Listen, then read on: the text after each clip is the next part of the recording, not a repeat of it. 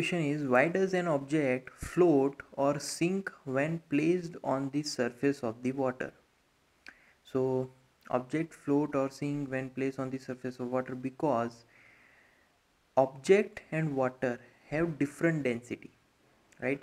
So if uh, uh, suppose we are having one water container here also I am writing drawing second water container right? So when object have density which is greater than water density.